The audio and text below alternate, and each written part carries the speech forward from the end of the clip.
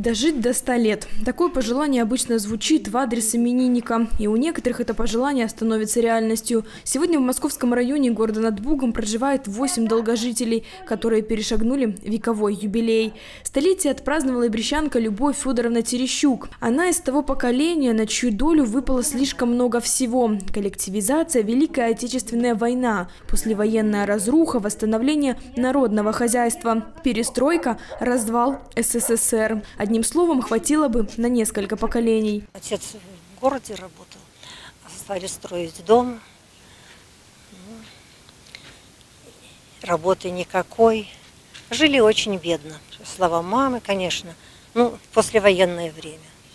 Также и довоенное. Вот.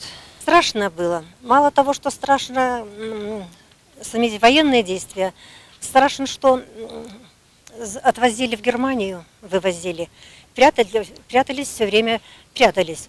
В землянках, землянки тоже э, меняли, чтобы уцелеть. Страшно.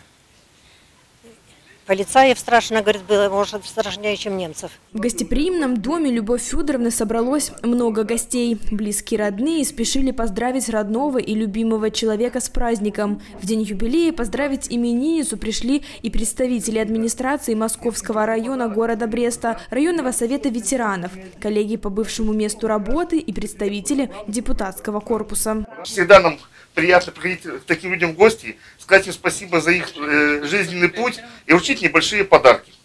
Поэтому здоровья вам, вам, вашим внукам и правнукам. Мария Петровна, добавить, чтобы пример вот такой заботы о вашей маме, чтобы да, чтобы был пример и для внука, для всей вашей семьи. Сто лет – это не просто долгий жизненный путь, это еще огромная мудрость и опыт, и невероятная, как демонстрирует сама Любовь Федоровна, бодрость духа, которую она не теряет и сегодня. Сегодня мы видим, что человек живет в заботе, в уюте, во внимании.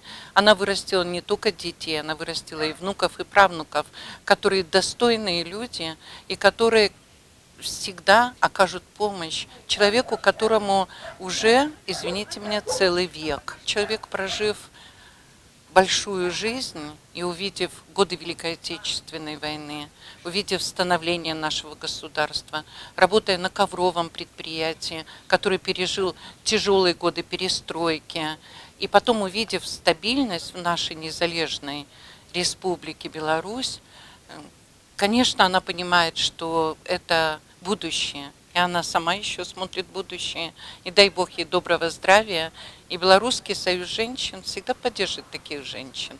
Ведь глаза у нее сегодня искрятся и говорят о том, что она видит этот мир в хорошем, теплом свете. У Любовь Федоровны одна дочь и шесть правнуков. Один из них, Антон Рябошапка, всегда рядом, помогает, греет ее своей любовью и заботой. Родные рядом, а это главное. Доченька, хочу, щоб діти жили добре. Всегда заботилась у нас, добрый, любящий. Конечно, столько э, бабушку, отца, меня. На празднике по случаю юбилея Любовь Федоровне вручили новый паспорт. Ведь сто лет – хороший повод, чтобы его поменять. Новый паспорт! Все без меня, без Приходите за продолжением. Таких долгожителей в московском районе областного центра всего восемь. Сейчас в их скромные ряды добавилась Любовь Федоровна. Каждый из них важен, ценен и очень дорог. Это у нас такая добрая и трогательная, длительная традиция, это чествовать э, жителей Московского района, которые достигли столетнего возраста. Хочется прийти и сказать людям спасибо за их э, э, жизнь, за их трудолюбие, за то, что они восстанавливали страну после войны и в дальнейшем трудились на благо нашей Родины. И поэтому всегда приятно, когда прийти и поздравить таких жителей. Анастасия Мелешкевич, Александр Воронин, Юрий Лимонтович, телекомпания Бук ТВ.